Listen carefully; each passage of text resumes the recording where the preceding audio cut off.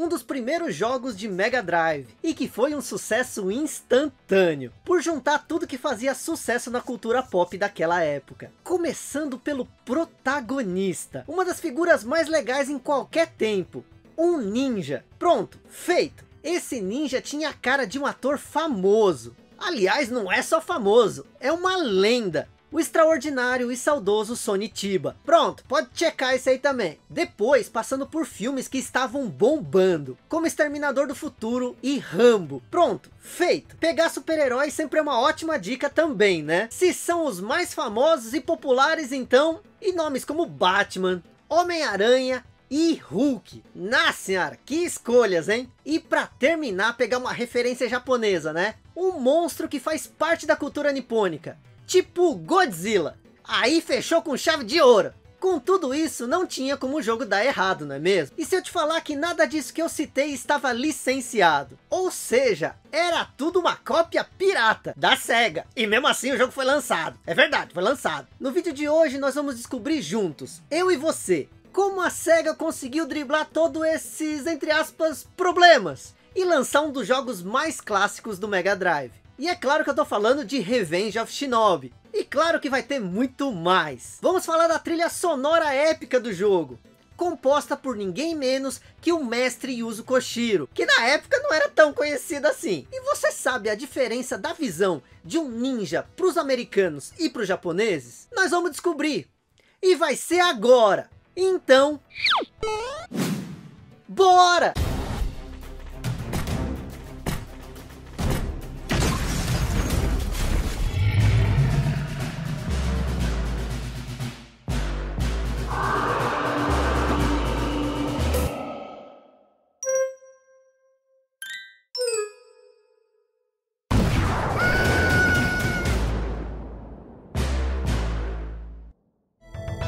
A SEGA nunca se rendeu à Nintendo. SEGA sempre foi uma das maiores empresas de arcade do mundo, tanto na produção das máquinas quanto dos games. Por outro lado, a Nintendo dominou quase que sozinha o mercado de consoles caseiros durante a maior parte dos anos 80, com seu Famicom, ou Nintendo Entertainment System, o Nintendinho no ocidente, ainda que a própria SEGA sempre tentasse achar o seu espaço. Primeiro com o SG-1000, console que saiu aqui no Japão em 1983, e não não apresentou ameaça nenhuma ao Famicom, principalmente por oferecer jogos muito simplórios e um tanto parecidos. Depois com o Master System, em 1985, que dessa vez, além das terras nipônicas, chegou na Europa e na América do Norte, tendo um número de vendas considerado honesto, justamente pela SEGA conseguir trazer ótimas versões de seus jogos de arcade. Um desses games foi Shinobi, de 1987, que fez muito sucesso nos fliperamas por ter gráficos incríveis e sprites grandes e bem definidos. O jogo coloca o ninja Joey Musashi enfrentando sozinho a gangue terrorista terrorista Zid, que está sequestrando crianças do seu clã Oboro. O clássico Shinobi ganhou uma versão igualmente fantástica para Master System, isso em 1988, que era mais amigável, pois no arcade o ninja morria apenas com um golpe, já no porte caseiro temos uma barra de vida. O resgate dos reféns também era uma opção no Master System, mas o minigame da Shurikens continuava presente. Ainda naquele ano de 1988, mais precisamente precisamente em outubro, um novo console de mesa da SEGA foi lançado aqui no mercado japonês, o nosso eterno Mega Drive. E desta vez a SEGA não estava para brincadeira. A máquina era superior ao Nintendinho, fazia conversões quase perfeitas dos arcades e já se enquadrava na quarta geração de videogames. Sim, é claro que os jogos de melhores performances ou mais bonitos surgem quase sempre no fim das gerações, que é quando os desenvolvedores já conhecem bem a plataforma. Porém, Porém, aqui temos um caso atípico, principalmente pela necessidade da SEGA, pois ainda que o Mega Drive fosse mais poderoso e trouxesse logo de cara os clássicos dos arcades, o console não foi páreo para a estratégia criada pela Nintendo, que lançou naquele ano simplesmente Super Mario Bros. 3, o jogo do Mario que todos esperavam, com gráficos lindíssimos, novas mecânicas, power-ups e dezenas de fases, o que acabou sendo um balde de água fria e estragou a festa de lançamento do novo console da SEGA, com a máquina sendo escanteada aqui no Japão. SEGA fez antes da chegada de Sonic.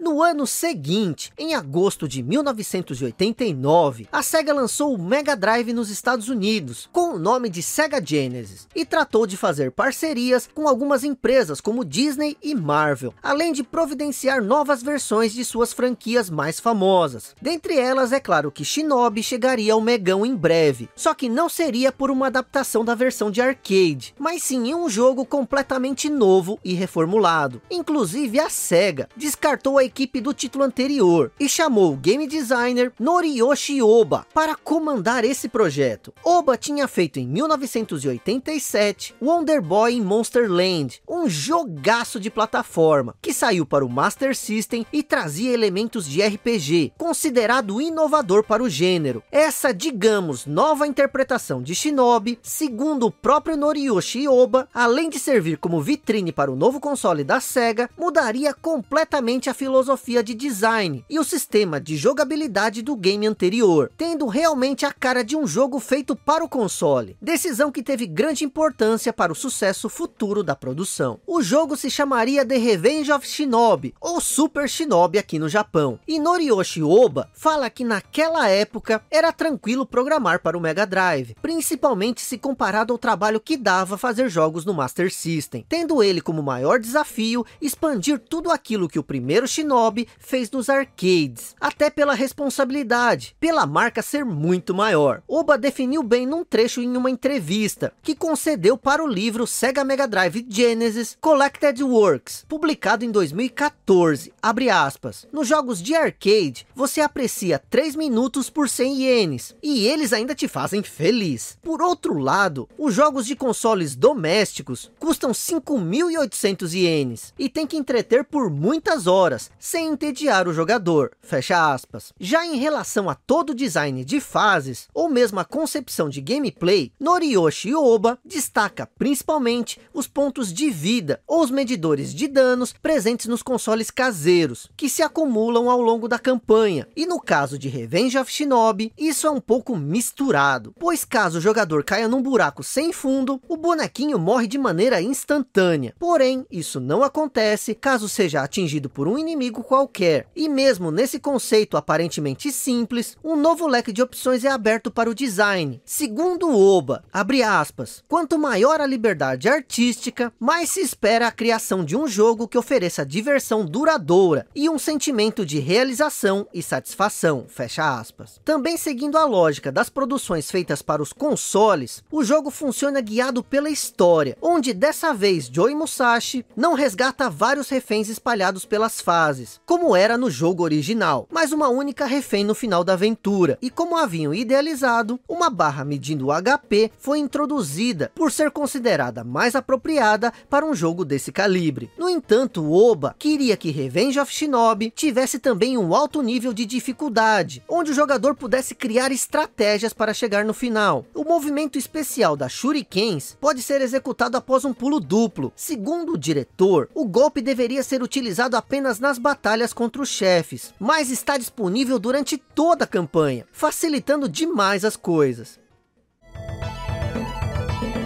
Marvel vs Sega uma das coisas mais curiosas e engraçadas de Revenge of Shinobi é sua lista de chefes e inimigos. Isso por alguns deles serem bem parecidos com vários personagens famosos de filmes e histórias em quadrinhos. Quer dizer, vamos falar a verdade, eles não são parecidos, eles são simplesmente idênticos. Algo surreal que o próprio Noriyoshi Oba atribui à sua falta de criatividade. Pelo menos nisso ele foi humilde, por admitir a tal homenagem, se é que você me entende. Na época, Oba diz que fez os esboços dessas figuras com base naquilo que tinha em mente, esperando que o designer oficial de personagens fizesse modificações visuais e adicionasse sua própria visão criativa no final. Porém, talvez por receio ou respeito, a mudança não rolou, o que resultou em inimigos hilários, idênticos ao Rambo. Olha só, é o Sylvester Stallone com faixa vermelha e tudo. A chefes inacreditáveis, como um que primeiramente parece vestido de homem Homem-Aranha, escalando paredes e soltando teias. E em sua segunda forma se transforma no Batman. Sim, você não ouviu errado. O Homem-Aranha vira o Batman. Mas relaxa, isso piora, porque um dos chefes é uma espécie de fusão do Exterminador do Futuro com o Hulk. É, eu sei, é difícil de acreditar, mas é a pura verdade. Vemos primeiro aquele ciborgue, ainda com a aparência de Arnold Schwarzenegger, jogando carros em você. E assim que o vilão começa a apanhar, fica verde e cresce os músculos. Após isso, ele se torna um esqueleto robô, que parece ter sido retirado do próprio filme Exterminador do Futuro. E para fechar com chave de latão, enfrentamos ninguém mais, ninguém menos que o Godzilla em pessoa. Quer dizer, em monstro. Ah, vocês entenderam. Dessa vez não tem como dar desculpas, pois o bichão é a figura literal do Godzilla. E sim, tudo isso saiu na primeira versão lançada em território japonês. Um cartucho que se tornou raro, exatamente por essas peculiaridades. É claro que a SEGA teve diversos problemas pelo uso desses personagens, e lançou várias outras versões revisadas do jogo, removendo os sprites copiados na cara dura, e trocando por outros um pouco mais diferentes. Quando a versão internacional saiu, o Batman foi substituído por um sósia bizarro vestido de morcego. O Godzilla virou um esqueleto gigante de um dinossauro qualquer, e os soldados Rambo viraram os carecas que faziam sons estranhos. De todos, o Homem-Aranha foi o único que permaneceu na versão americana, graças à SEGA ter licenciado o personagem em outro game, o The Amazing Spider-Man vs The Kingpin, que saiu para o Mega Drive e também para o Master System. O Homem-Aranha, inclusive, recebeu os créditos devidos, com o nome oficial do personagem sendo mostrado lá. Ah, muitos não comentam, mas a aparência do rosto de Joey Musashi foi tirada das feições do agora saudoso ator Sonny Chiba, porém isso também foi alterado nas versões posteriores. Pequenas equipes, grandes jogos.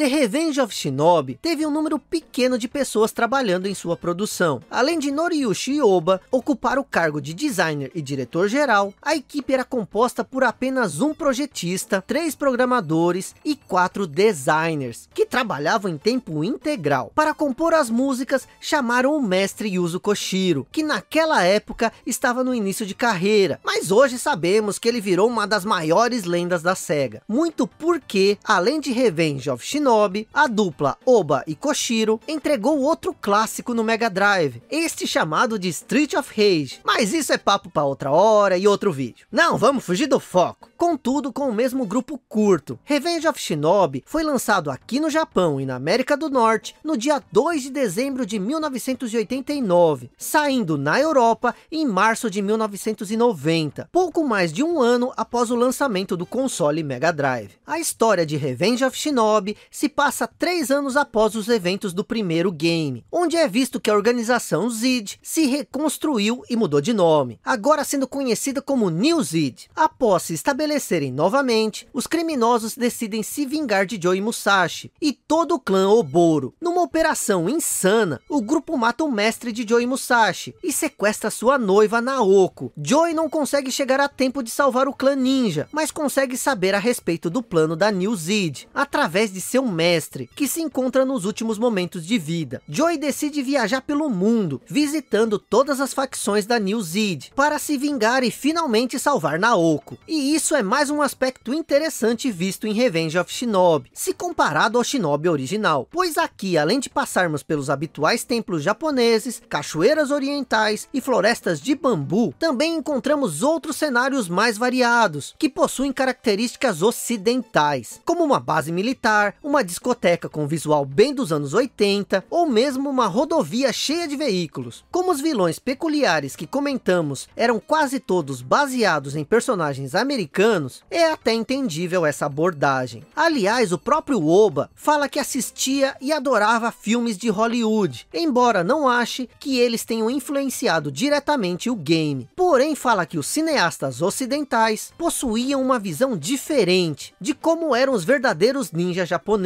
E essa sim foi uma ideia que ele confessa ter usado. Abre aspas, o retrato ocidental dos ninjas é ligeiramente diferente do japonês. Por isso tentei fazer com que os personagens correspondessem a essa imagem ocidental, tanto quanto possível, tendo cuidado para que não parecessem falsos. Isso foi muito desafiador. Eu acho que os ocidentais veem os ninjas como personagens poderosos, tipo Superman, enquanto os japoneses os imaginam apenas como artistas marciais. Fecha aspas. Oba também falou a respeito do gênero que Revenge of Shinobi pode ou não ser enquadrado. Abre aspas. Nós chamamos jogos como Revenge of Shinobi de ação atlética, por habilidades como salto duplo e salto de parede, exemplificarem as características atletas do protagonista. Para tornar isso mais interessante, tentamos criar variações dos momentos de ação, dependendo da situação que o jogador estiver. Uma das principais características do jogo é a ideia da projeção de nível níveis, que servem para melhorar gradualmente as habilidades do jogador, maximizando assim a sua satisfação ao concluir cada fase. Fecha aspas.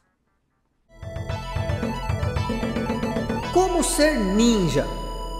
O jogo é dividido em oito fases, e cada uma delas é dividida em três níveis. Agora, sem precisar resgatar os reféns, Joey Musashi precisa apenas chegar ao fim da fase e sua saída. Sendo um ninja, Joey depende das suas shurikens, que podem ser atiradas na direção frontal dos inimigos, e também da sua tradicional katana, mais usada no combate corpo a corpo, e também nos momentos em que as shurikens acabarem, né? Todo ninja tem que ser veloz e se movimentar bem. Joey Musashi então é capaz de realizar realizar saltos duplos no ar, algo muito bem-vindo para evitar os projéteis dos inimigos. Porém, dar um salto duplo aqui é mais complicado do que parece, pois você precisa acertar o tempo com precisão e pressionar o botão no momento exato do salto. Lembrando que quando fizer isso, também é possível arremessar várias shurikens de uma vez. Conforme você avança nos estágios, vai encontrando caixas que podem ser destruídas e revelar itens de bônus, que variam de shurikens adicionais a suprimentos que enchem enchem a barra de vida. Também é possível pegar um símbolo de poder, que aumenta as habilidades de ataque de Joey. Depois de coletados, as shurikens ganharão mais energia, podendo romper as defesas dos inimigos que normalmente bloqueiam seus projéteis. No modo energizado, Joey também é capaz de desviar os projéteis adversários. Ah, uma coisa que Dark Souls se inspirou em Revenge of Shinobi é nas caixas espalhadas pelos cenários. Sempre é bom ter cuidado, pois além dos itens, algumas têm armadilhas como bombas relógio. Já pensou se sai um bichão de lá?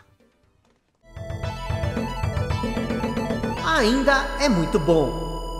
Ainda hoje, The Revenge of Shinobi é um jogo lindíssimo, e se comparado ao que tínhamos na terceira geração de videogames, é um salto gigantesco para o que veríamos logo no começo da quarta geração. O visual é de muito bom gosto, as animações são sólidas, e o som ah, o som. Quando alguém falar mal do chiptune do Mega Drive, mostre Revenge of Shinobi ou Street of Rage para essa pessoa. Certamente ela verá que o problema estava em quem fazia o trabalho sonoro de alguns jogos do Megão.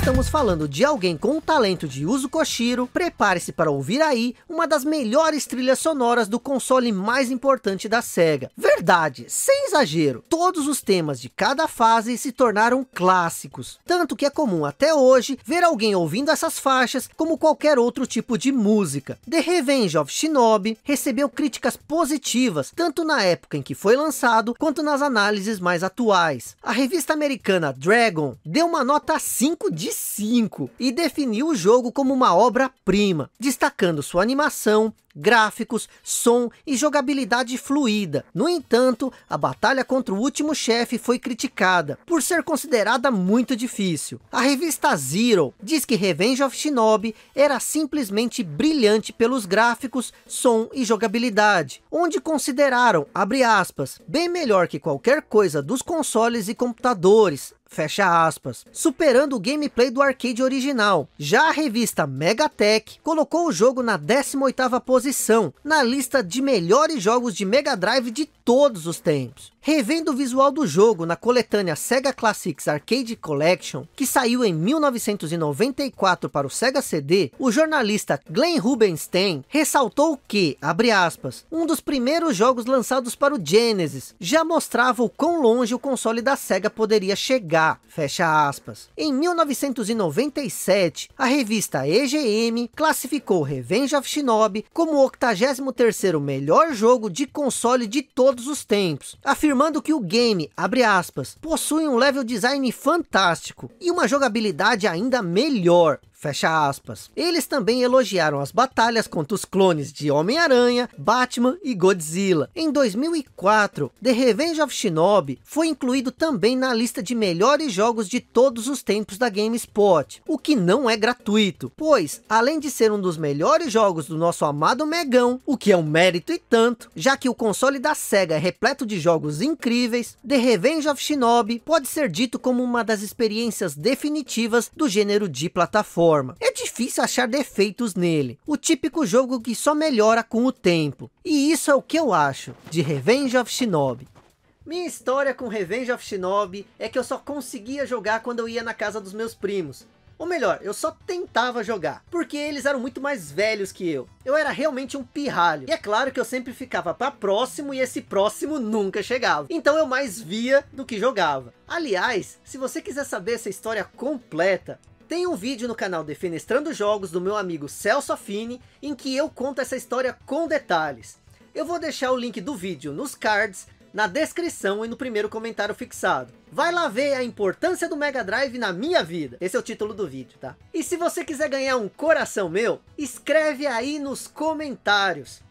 Joey Musashi, o protagonista de Revenge of Shinobi. E é claro, eu quero saber a sua história com o jogo. Me fala aí. Ah, e não se esquece, me segue no Twitter e no Instagram, arroba Vitorisui. No Twitter a gente pode conversar sobre tudo. Já no Instagram eu posto foto de itens que eu ainda não mostrei aqui, além de você saber um pouco mais da minha vida aqui no Japão.